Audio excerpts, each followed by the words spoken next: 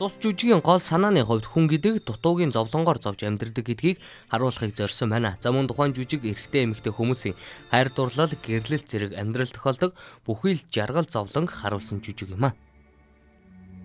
Ер нь бол 12 сарын 1-ний өдрөөс эхлээд нийл цагаан жүжиг тоглогдно. Ерөнхийдөө бол манай жүжигийн хувьд бол үзэгчдэд нэлээд том мессеж өгөх зорилготой мэдээж одоо сонирхлын хувьд бол сүүлийн үед хийгдсэн бүтээлүүдээс жүжигүүдээс арай өөр онцлогтой. Онцлогынхоо хувьд бол одоо одоо тайзны урлагийн жанруудыг бүгдийг одоо энэ жүжигэнд багтаасан хийсэн. Ер нь бол хүн гэдэг юмтан бол одоо дутуугийн зовлонгоор л зовж амьдардаг юм аа гэдэг хамгийн том санаа энд бол байгаа.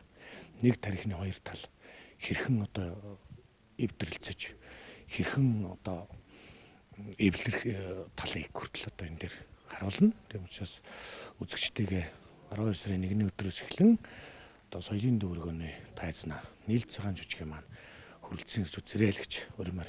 Одоо манай энэ жүжигийн одоо зохиолч, ерөнхий найруулагч, баяр соёлтын баяр сайхаахын нийл цагаан нэрнээс өртсөн нөгөө зү нийл ягаан гэдэг шүү дээ. Яга цав цагаан гэж болоогүй.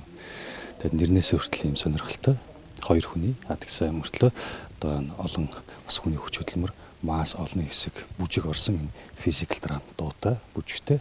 Тэгээд ерөнхийдөө бас нэг Монголдо бас анхдагч энэ энд бол бүрсө урлагийн бас бүх төрөл жанрыг бас шингээхийг зорьсон. Физикл бол хөдөлгөөний цэвэр урлаг тэгээ музиклийн элементүүд дууны элементүүд.